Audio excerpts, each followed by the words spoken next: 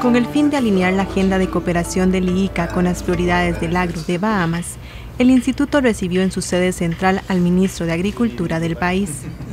Durante su visita, el ministro Alfred Gray señaló que aumentar la producción de alimentos de forma sustentable, reducir la factura importadora y mejorar la sanidad agropecuaria y la inocuidad de los alimentos son las áreas en las que el IICA deberá concentrar la cooperación técnica que ofrece a Bahamas.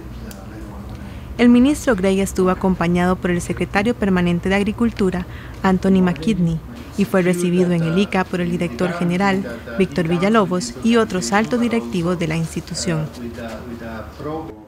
La visita incluyó un encuentro con la ministra de Agricultura y Ganadería de Costa Rica, Gloria Abram, para tratar temas de interés común, como el incentivo a los seguros y al crédito agrícola, así como la importancia de promover la planificación en la cosecha y la venta de los productos. Asimismo, el secretario permanente y varios funcionarios del IICA realizaron una gira de campo al Centro Agronómico Tropical de Investigación y Enseñanza, CATI.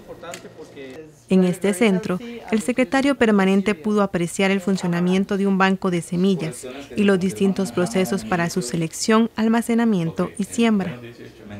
También visitó el jardín botánico para conocer distintas variedades de árboles y cultivos preservados en el CATI. La gira de campo incluyó además una visita a una granja modelo que utiliza eficientemente los recursos para reducir las emisiones de CO2. En sus conversaciones con las autoridades del CATIE, el subsecretario expresó la necesidad de interesar a la juventud en el agro, para lo cual manifestó que tanto esta institución como el IICA pueden ser grandes aliados.